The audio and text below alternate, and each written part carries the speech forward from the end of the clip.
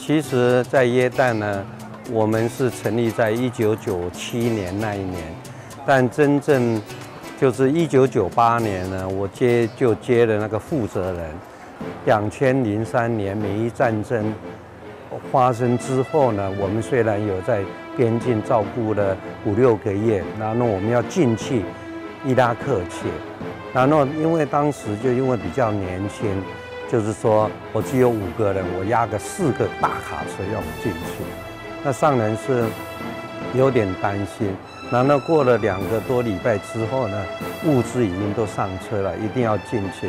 那就跟上人报告，上人就呃祝福，我们就进去。然后就是回来的时候，到了耶旦边境的时候，赶快打电话给上人报平安。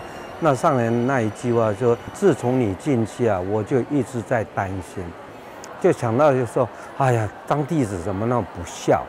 那就是没有考虑到上人那一份当今弟子的心。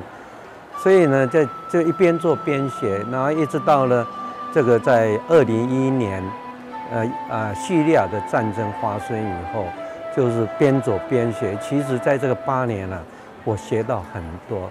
其实这一次呢，带了两位本土的志工。要回来吸收我们的净思法脉。